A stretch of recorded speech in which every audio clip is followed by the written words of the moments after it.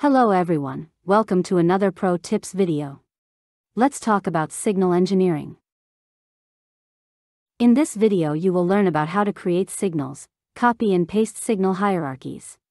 You will see how you can also change the order of your signals by simple drag and drop and switch view to signal list view.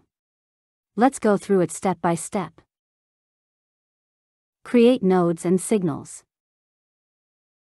Open your signal editor. Each signal must be assigned to a node, so the first step is to click on Add New Node. Name your node and confirm. To add another node below, select the node, click Add New Node again and name it. A new node will appear below the selected node. To add a new signal, select the node to which it should be assigned and click Add New Signal. Select a name and the type of signal and confirm your selection.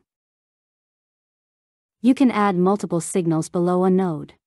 When you're finished adding signals, save your changes and exit the signal editor. Tree copy. Identify the signal or node you want to copy, and the location where you want to paste it. Click Copy, select your desired number of copies and confirm. The copy will appear in the target location. To rename the new signal or node, click on the properties. Enter the new name and confirm.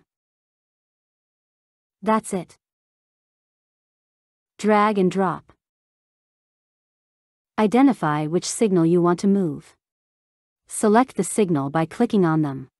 If you want to select multiple signals, hold down the Control key while clicking. Click and hold the left mouse button on the selected signal. Drag the signal to the desired location in the order. Release the mouse button to drop the signal in the new location. Switch views. By clicking this button in the upper left corner, you can switch from the signal tree view to the signal list view. You can also create signals in the list view. Either create a new signal or select a row and duplicate it. Alternatively, you can create signals by importing an Excel or CSV file. Thanks for watching. For more information scan the QR code and get the 21 days trial version of the SICAM Device Manager to try it out.